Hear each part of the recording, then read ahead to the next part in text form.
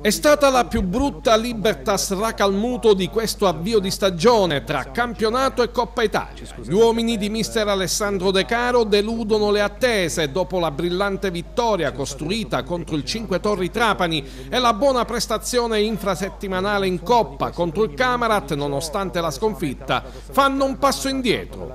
Perdere all'Ercara Friddi, attuale capolista del torneo seppur in condominio con il Don Carlo Misilmeri ci può stare, ma ci sono modi e modi di incassare una sconfitta. E quella subita ieri dai Racalmutesi è semplicemente una sconfitta subito da dimenticare. Come da dimenticare è stato soprattutto il primo tempo giocato dagli undici di Mister De Caro, troppi errori e troppe occasioni regalate alla matricola che con cinismo le ha sfruttate tutte, chiudendo già nel primo tempo la pratica. Parte subito forte l'Albatros che schiaccia gli avversari nella propria metacampo e al ventunesimo trova il gol del vantaggio con Gianluca Muratore, il giovane attaccante classe 99 con un preciso pallonetto superava Milise Senda per l'1-0.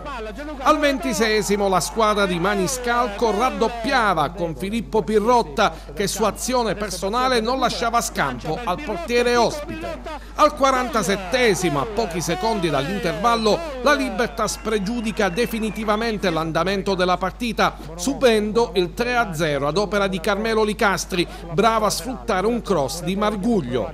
Nella ripresa la Libertas trova una sterile reazione tra l'altro l'Albatros rimaneva subito in 10 per l'espulsione di Gargagliano. Riesce tuttavia ad accorciare le distanze su un calcio di rigore trasformato da Gabriele Russo. Al novantesimo la sciocchezza di Alessio Lamendola che si fa espellere e poco dopo l'Albatros cala il poker commossa per il definitivo 4-1. A fine gara De Caro ha commentato sapevamo di giocare in un campo difficile ma in parte ci abbiamo messo del nostro per perderla non scendendo in campo con la testa. Onore comunque all'Albatros Lercara che ha dimostrato maggiore compattezza in campo.